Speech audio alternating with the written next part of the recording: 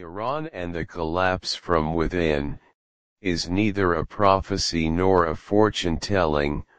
but rather data, input, and results of the behavior of the Iranian regime, which has become witness to it from the Iranian interior after the testimony of parliamentarian Faizeh Rafsanjani, daughter of the late former President Hashemi Rafsanjani, who said,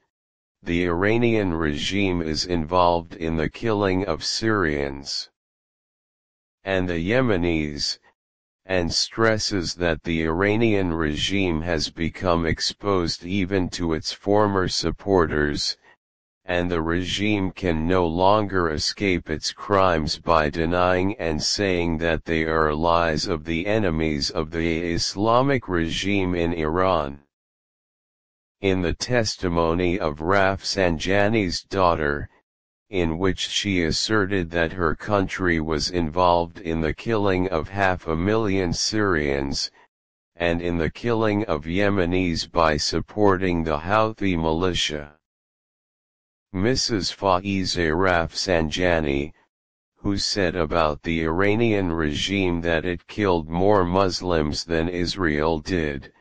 is a dangerous and courageous declaration in a country that does not recognize liberties or other opinion and is used to assassinating and liquidating its opponents.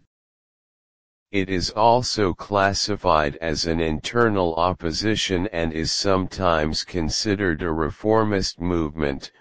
but it cannot be included in the list of Iran's enemies or on the lists of the Basij, political security and Iranian intelligence, and that it is one of the agents of the Great Satan, as the Iranian regime usually describes its opponents. He headed Iran and the parliament, and before his death he was the head of the Expediency Council. No sane person can accept that it is trampled on by the Iranian regime, which, as Mrs. Rafsanjani described it, is collapsing from within. The testimony of Faizeh Rafsanjani can only be read as a declaration from within the system of the regime whose nakedness was exposed. Mrs. Rafsanjani, who said, the Iranian regime has done more wrong against the people than Israel, the United States and the Pahlavi regime,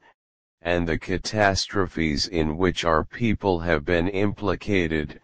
none of these have taken place. The parties are considered unprecedented courage by one of those affiliated with the regime, especially as they described the Iranian regime's policies as irrational and Taliban's. Mrs. Rafsanjani, who can only be classified as a witness from within, said of the elected Iranian President Ibrahim Raisi, he has nothing in his hand, and he is just a puppet moved by other people behind the scenes. Since the Khomeinist revolution, the Iranian regime has sought to export crises under the guise of the Islamic Revolution, as the regime calls it, with a Safavid flavor that collides with the approach of the predecessor to the neighboring Sunni countries and destabilizes societal peace in them, by inciting sectarian strife in them. The Iranian regime has been dragging the region into disputes and causing problems for its neighbors, ranging from obstructing navigation in the Arabian Gulf and threatening to close the Strait of Hormuz, to obstructing commercial navigation through terrorist acts such as damaging four commercial ships in the Persian Gulf by instructing its members in the region to act sabotage, which threatens international navigation.